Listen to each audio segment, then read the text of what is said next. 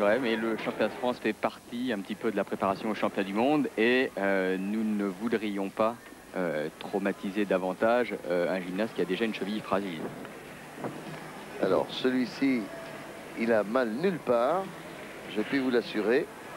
C'est Frédéric Lemoine. On l'a vu à la barre fixe tout à l'heure. C'est un garçon costaud qui nous vient du Nord. Il nous vient à l'origine de Vernon. Il est actuellement au club d'Épinay sous Sénard et s'entraîne à l'INSEP. Et il a fini son exercice sur une vrille ennemie percutée salto avant.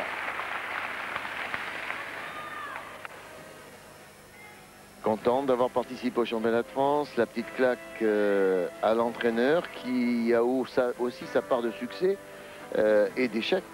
On le voit trop souvent dans le sport. Euh, on identifie souvent trop l'entraîneur à l'échec de l'athlète. C'est pas toujours lui qui est responsable. C'est aussi l'athlète. Et c'est l'occasion de saluer quand même.